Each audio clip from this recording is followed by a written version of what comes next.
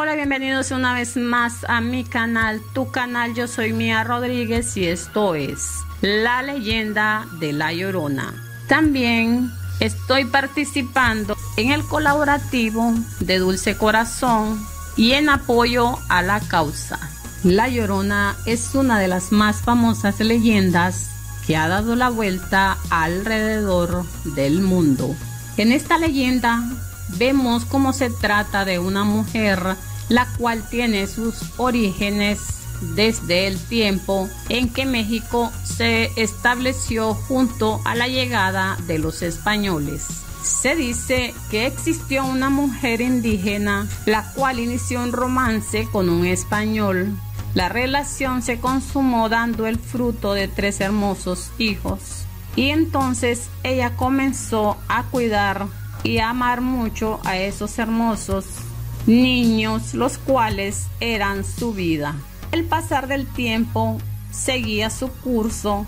Entre sombras y mentiras el caballero comenzó un romance con otra mujer a escondida de la familia de la indígena. La mujer, viendo formalizada su familia, le comienza a pedir al hombre la formalización para que sus hijos posean un padre de tiempo completo, a lo cual el hombre esquiva la propuesta por temor al que dirán, siendo él un miembro de la sociedad en sus más altos niveles. Pensaba mucho en aquel nexo con una mujer indígena podría afectarlo demasiado en su estatus por la insistencia de la mujer y la negación del hombre.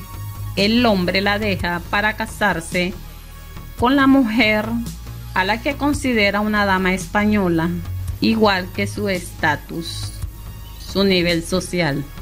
La indígena, al enterarse dolida por la traición y el engaño, totalmente desesperada, se lleva a sus hijos a orilla del río, los abraza con un gran amor que ella sentía por ellos y los hundió en el agua hasta ahogarlos y luego termina con su vida al no soportar la culpa.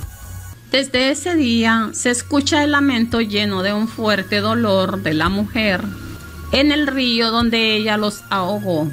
También la mujer deambula por las calles desesperada con un fuerte grito de dolor y lamento buscando a sus hijos y la culpa desde entonces no la deja descansar porque sus lamentos se siguen escuchando en la plaza mayor y vestida de blanco llamando a sus hijos que se pierden en el lago de Texcoco. ¿En dónde están mis hijos? ¿En dónde están mis hijos? se exclama con un fuerte dolor. Esto ha sido todo por el video de hoy. Espero les haya gustado la nueva leyenda. Espero me regales un like, me lo compartas. Y si aún no estás suscrito a mi canal, te invito a suscribirte y a activar la campanita para que cada vez que suba un video te llegue la notificación. Si el video te ha gustado, regálame un like. Ayúdame a compartirlo. Deja tu comentario. Apóyame con tu suscripción y nos vemos en un próximo video.